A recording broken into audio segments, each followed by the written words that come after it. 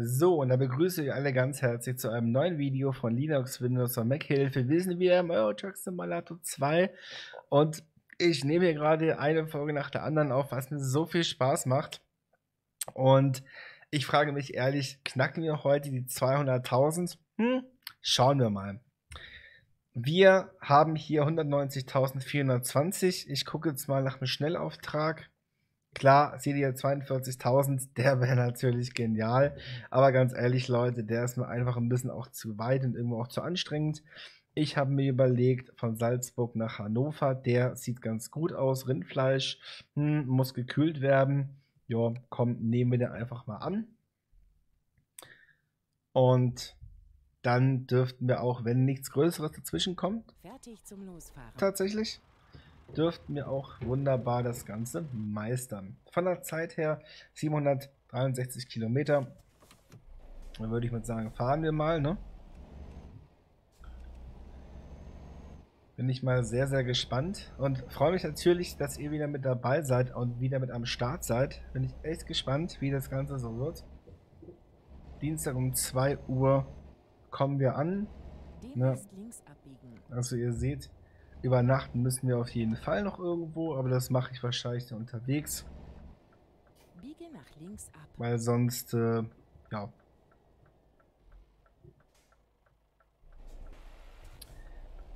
Sonst wird das, glaube ich, einfach ein klein bisschen zu langweilig, respektive zu, äh, was heißt zu langweilig? Ein klein bisschen zu krass, wenn ich da einfach hier dann erst komme. Ich muss ja auch dann über Nacht noch irgendwo, bin ich mal gespannt, wo ich das mache. Aber bestimmt jetzt noch nicht, aber wahrscheinlich so in, ja, so in 10, 15 Minuten mal gucken. Noch was die Audioqualität angeht, muss ich sagen, bin ich doch sehr überrascht. Durch dass ich jetzt, durch dass ich das ja noch ein bisschen lauter drehe, dann sollte man auf jeden Fall auch den, das LKW-Brummen auch hören. Das wäre sonst noch ziemlich leise, würde ich mal sagen, so nebenbei. Ne?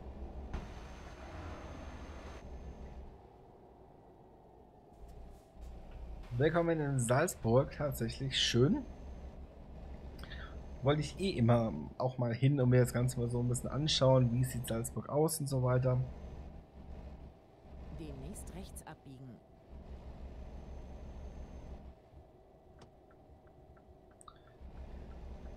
So, dann biegen wir doch mal rechts ab, ne? Das ist halt so ich auch. Oh, ich. Das, das, das Schöne dran. Wie ich finde. Etwas fällt mir jetzt gerade noch ganz. Etwas fällt mir gerade noch auf. Grafik und zwar Helligkeit ein klein bisschen höher weil die doch irgendwie, habe ich immer auch schon so ein bisschen Eindruck gehabt, doch ein bisschen dunkel alles ist und das sieht dann so, ja, nicht wirklich schön aus, finde ich. Deswegen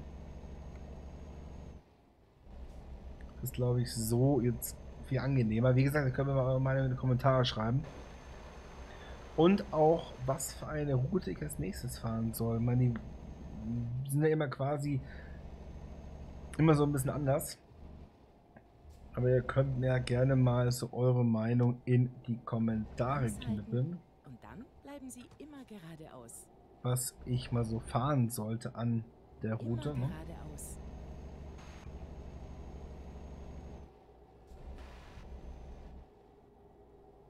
Jetzt muss man natürlich enorm bremsen, weil 40 ist nur erlaubt, genau. Und sonst motzt die Dame wieder. Äh, du bist zu schnell. Das muss auch nicht sein, ne? Äh, komm, komm, komm, komm, komm, komm, komm, komm. Schaff, schaff den Berg, schaff den Berg, schaff den Berg. Komm, komm, komm.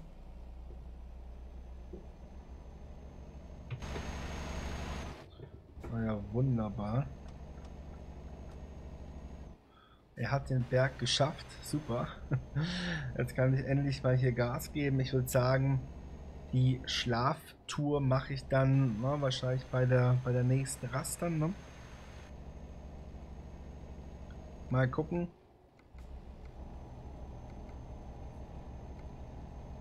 Schauen wir mal. Weil es ist ja auch so ein bisschen, man muss ja auch so ein bisschen eine gesunde Balance finden. Na komm. Ich versuch's hier mit dem Schlafen gerade mal, ne?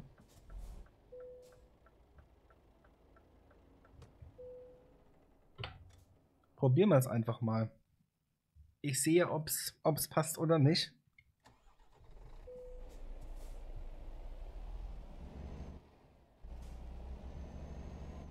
11.22 Uhr und bis wann habe ich Abgabeding? Oh ja, seht ihr, das passt wunderbar.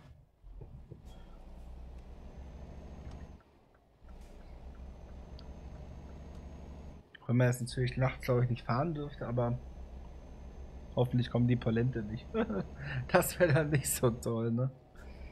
Aber ich denke mal, das war jetzt eine gute Entscheidung. Oh, soll ich jetzt noch tanken fahren? Na komm, ich fahre noch kurz tanken. Weil dann ist der Wagen auch voll und da muss ich mir erst wieder Gedanken machen, wenn ich dann dort bin. Neu berechnen.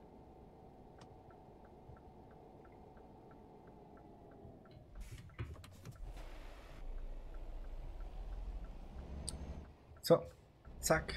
Wunderbar. Dann tanken wir mal für 1,27 der Liter Diesel. Man, so ein LKW frisst oder schluckt ja doch eine ganze Menge. Ich rechne so mit 500 Liter etwa, weil er halt nicht ganz voll war. Hm, Tatsache.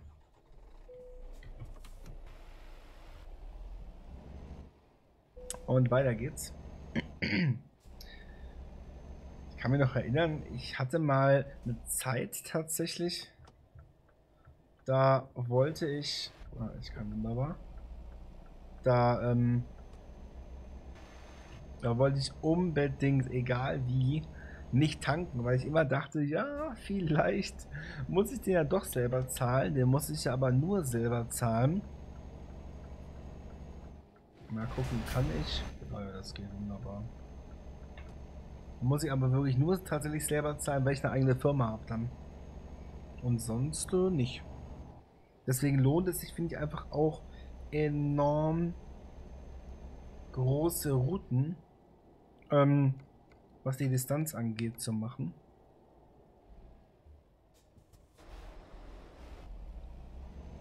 Das lohnt sich. Hi, was denn, was denn da los? Oh, seht ihr? Das war jetzt knapp. Der musste jetzt echt gerade durch, ne? Und dann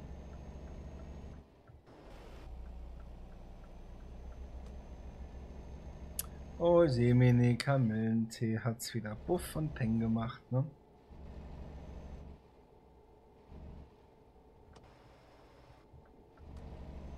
Habe ich jetzt irgendeinen Schaden davon? Nö, gut. Ah, apropos, was diese 1% Sache angeht. Das hat mir jetzt, hat mir jetzt ein Abonnent mal erklärt. Das ist ganz normaler Verschleiß, deswegen steht auch immer ein Prozent. Das, äh Links halten und dann bleiben Sie immer geradeaus. Das sei aber ganz normal. Da war ich doch sehr beruhigt, ne? Weil ich wirklich dachte so, na, vielleicht bin ich doch irgendwo dagegen gekommen, wo ich nicht hätte dürfen sollen müssen, ne?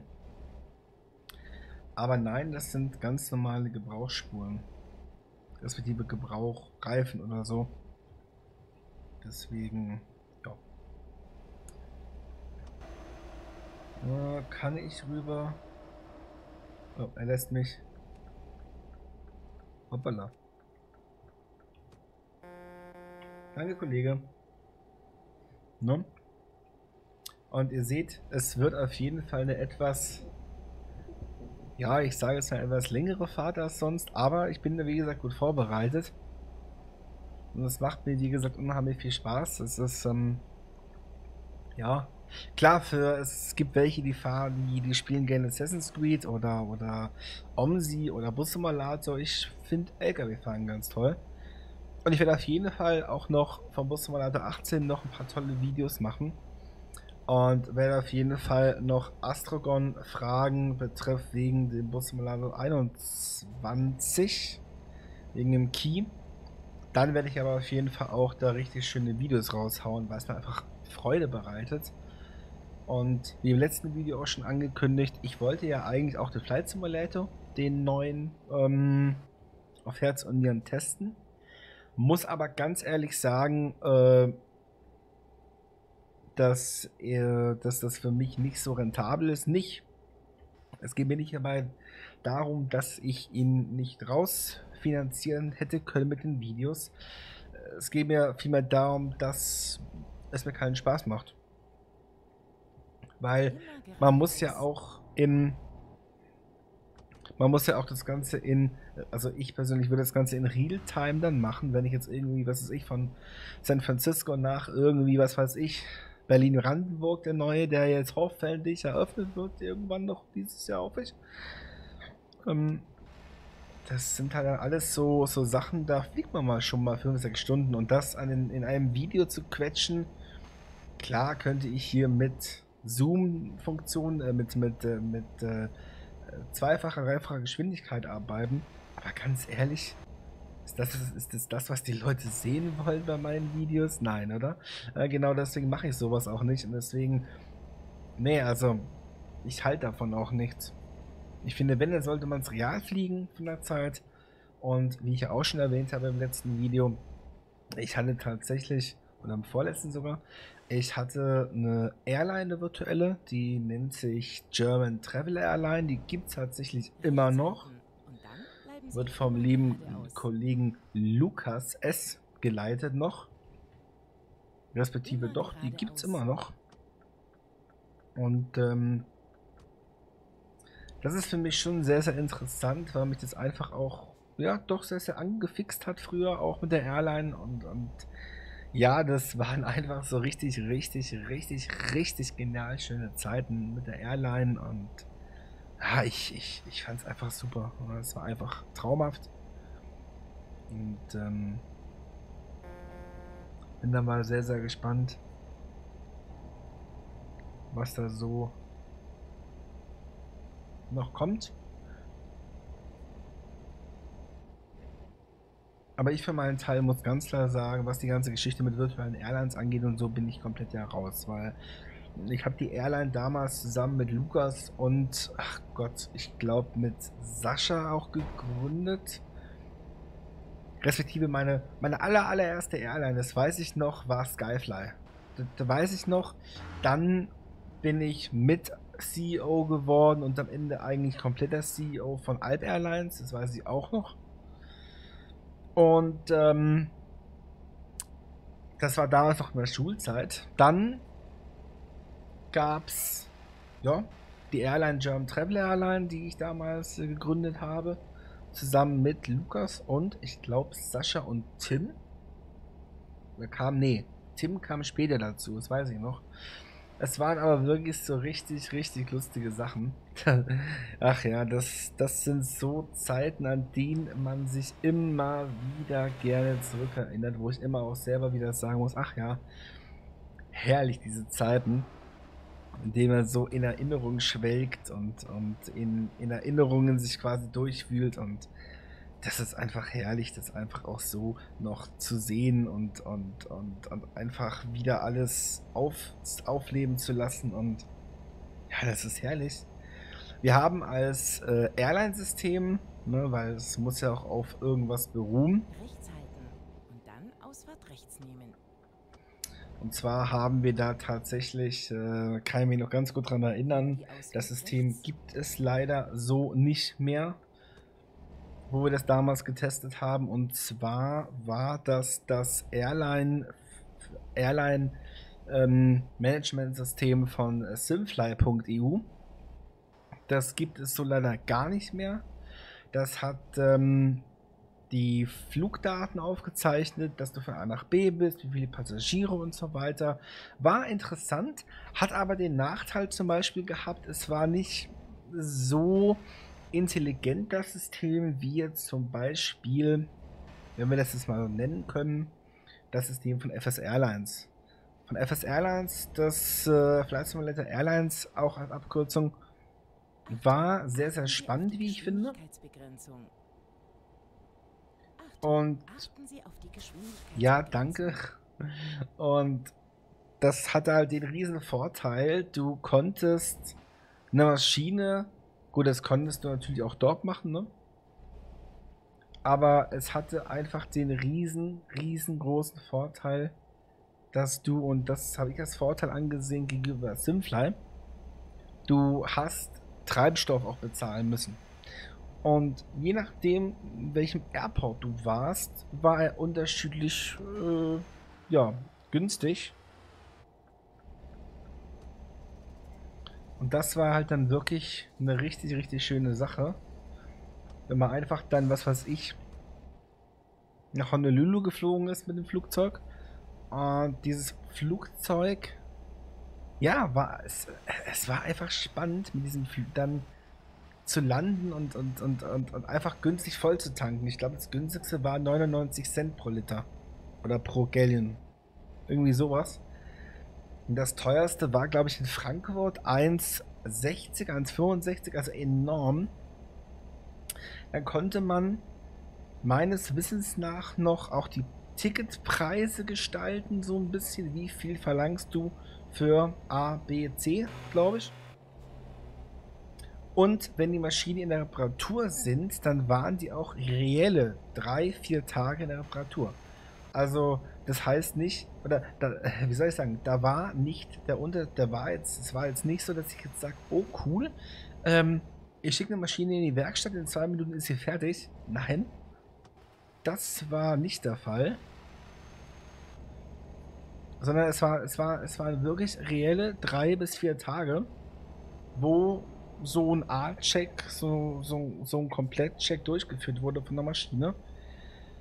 Ja, da musste man halt auch, äh, ich sag mal, Ersatzmaschinen haben. Und, ähm, ah, ne, sieht ja gerade aus. Glück gehabt. Und da musste man halt auch Ersatzmaschinen haben und ähm, die waren jetzt auch nicht gerade günstig. Und so hat man eigentlich ein wirklich gutes Wirtschaftssystem auch gehabt bei FS Airlines. Vor allem es hat auch die Landung bewertet und je nachdem, wie hart du aufgesetzt bist, hat das System, und das finde ich richtig, richtig toll, auch bewertet und gesagt, hey, okay, wie kannst du noch einfacher landen? Weil je nachdem, wie sehr du gelandet bist, hast du auch entsprechend viel Schaden an der Maschine hinterlassen. Und da kann ich mich noch, ich nenne den Namen jetzt nicht, aber es gab da auch ein, zwei Spezialisten, äh, die die Maschine dermaßen hart in den Sand gesetzt haben, ähm, ja, dass die Maschine erstmal in den A-Check musste. Und der A-Check war meines Wissens nach der äh, seht ihr hier? Hi, nochmal. Jesus Gott. Vor, lau vor, vor, laut, vor lauter Reden, ne? Vergisst man doch gerade die Ausfahrt. Auf jeden Fall, es war halt wirklich sehr, sehr faszinierend und sehr, sehr spannend. Und ja, da gab es auch Einstellungsgespräche, weil wir hatten kurzzeitig, ich glaube sogar 40, 45 Piloten kurzzeitig, die auch geflogen sind. Und da gab es immer auch online dort so eine Statistik, welche Airline fliegt wie und, und, und, und, und welche Airline hat äh, das meiste Geld in den letzten 24 Stunden erwirtschaftet. Weil da haben wir uns halt immer so ein bisschen mit den Großen gemessen, ne? German äh, Flight Center und wie die alle hießen, die großen Airlines, virtuellen Airlines. TUI äh, gibt es auch. Die haben ja auch, glaube ich, eine Erlaubnis sogar von der TUI Airlines selber, dass sie TUI Airlines, glaube ich, heißen dürfen. Und äh, ja, das sind alles so, so Sachen, wo ich sagen muss, ach, das war herrlich. Das, ich, ich weiß noch, ich, ähm, ich habe da stundenlang am PC gesessen und äh, habe das, das ist so ein bisschen primitiv, wenn ich mir das heute überlege. Da habe ich mit meinem PC, den ich damals geschenkt bekommen habe, wir reden vom Jahr 2000. Jetzt muss ich gerade mal überlegen, wann habe ich den geschenkt bekommen? 2006. Da war noch nicht so viel mit High-End Gamer-Karte mit 12 GB Grafikspeicher. Das waren Das war äh, Fujitsu Siemens A mit einem AMD Phenom 9600 Quad-Core mit 2,4 oder waren das 2,66? Keine Ahnung, auf jeden Fall über 2 Gigahertz lief der Prozessor. Und da war es halt tatsächlich so, das Ding hatte nur 2 GB RAM.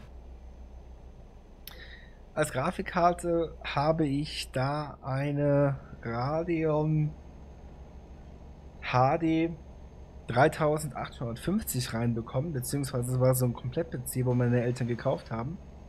Bei, de, bei einem äh, Elektrofachhändler in der Nähe, wo wir wohnen. Und das war echt krass, wenn man sich das so überlegt. Eine Radeon HD 3009, äh, 3850 mit 512 Megabyte Grafikspeicher ähm, und 2 GB Fest, äh, 2 GB RAM hatte das Ding noch, das weiß ich noch. Und als Festplatte hatte ich, ich glaube 320 GB Festplatte.